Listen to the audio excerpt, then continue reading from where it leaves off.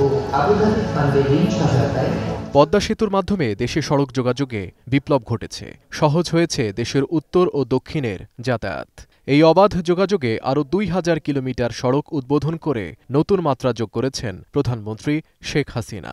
Accident এবং আমাদের যাতায়াতের আরও সময় সময় অনেক সেভ হবে এবং গুরুত্ব অনেক বেড়ে যাবে।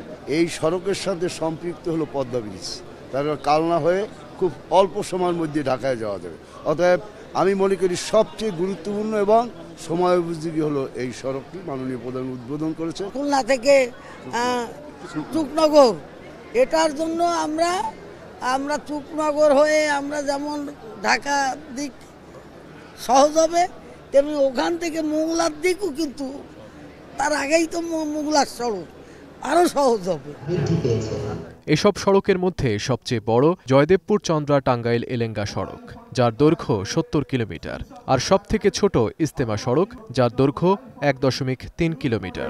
অথবা সুইচ অফ করে রাখব দীর্ঘ প্রত্যাশিত সড়কগুলো চালু হয় খুশি চলাচলকারী ও স্থানীয়রা। বলেন সড়কপথের এই উন্নয়নে সহজ হবে তাদের জীবনযাত্রা। পাশাপাশি গতি বাড়বে অর্থনীতির চাকায়। যোগাযোগ ব্যবস্থার কারণে ব্যবসায়ীরা আগ্রহী হচ্ছে।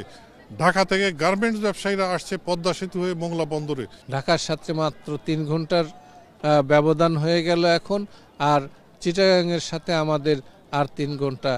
উদ্বোধন করা একশো মহাসড়কের মধ্যে ঢাকা বিভাগে বত্রিশটি ময়মনসিংহে ছয়টি চট্টগ্রামে পনেরোটি সিলেটে চারটি খুলনায় ষোলোটি রংপুরে পনেরোটি রাজশাহীতে আটটি এবং বরিশাল বিভাগে চারটি। এসব মহাসড়ক নির্মাণে ব্যয় হয়েছে প্রায় চোদ্দ হাজার নশো পনেরো কোটি টাকা।